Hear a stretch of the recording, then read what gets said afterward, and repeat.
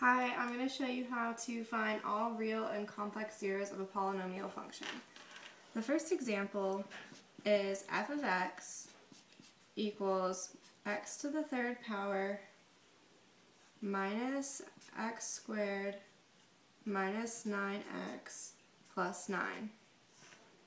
The first thing you're going to want to do is type it in on your graphing calculator and hit graph. it's going to show you a graph of your line like this. As you can see, all points are touching the x-axis, so all you're going to do is press second calc and do like zero, right bound, left bound. So you find your first zero, and it is negative 3.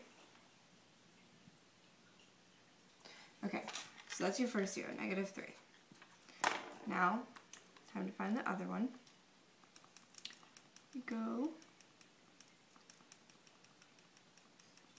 and it is 1.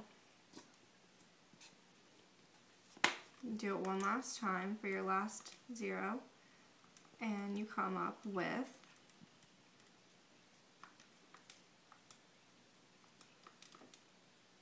3.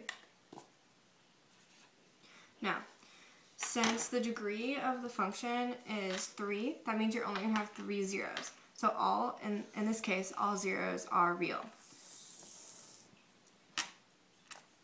Okay, the next example is going to be a little bit different. It's going to be g of x equals x to the third power minus x squared plus 4x minus 4. Type it in on your calculator.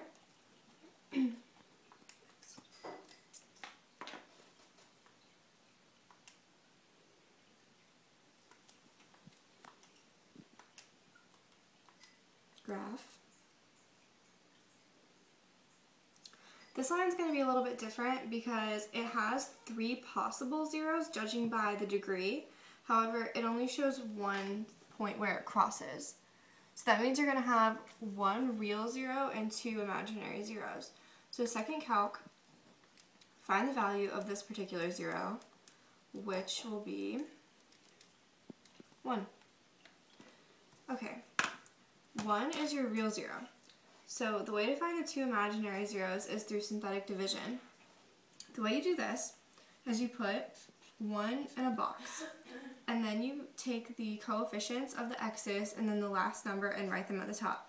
So in this case it's going to be 1, negative 1, 4, and negative 4.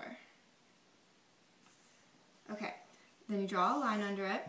You bring down the first number, so you have 1, like that. And then you do 1 times 1 is 1, negative 1 plus 1 is 0, 1 times 0 is 0.